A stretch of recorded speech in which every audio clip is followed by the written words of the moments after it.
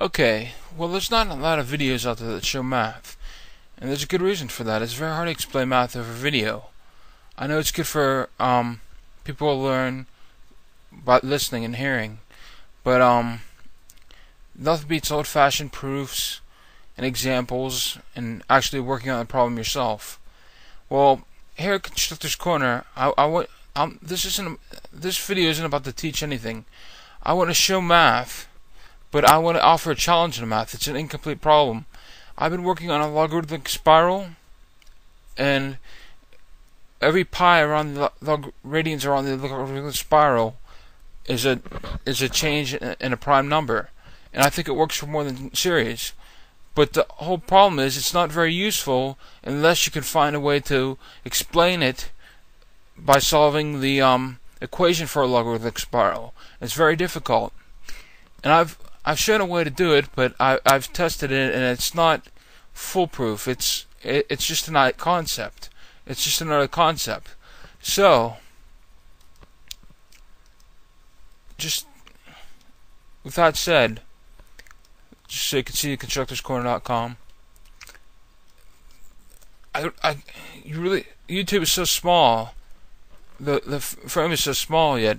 Um, you really can't show text and stuff. It's very difficult.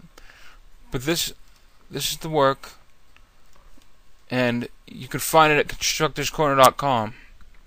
And um,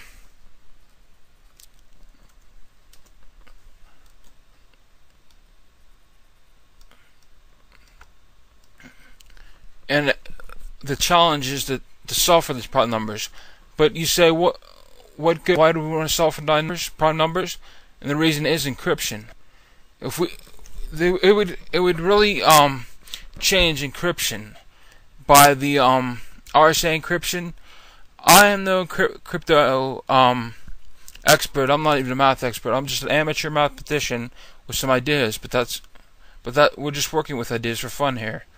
But this it would change. It would change how we look at encryption. See, there's there's logarithmic spirals there. And if you go to the Constructor's Corner and look at it and read through it all, read through it all. It's under Math Hunches or the link at the beginning of the website, and read it, and um, it'll it'll show you that it's pretty. It's a good idea. I, I'm not sure if it's foolproof.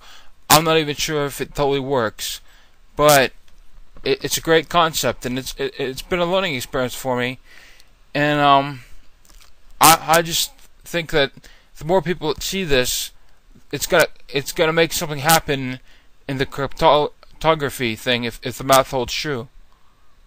So go to www.constructorscorner.com and I'll see you there. Alrighty, thank you.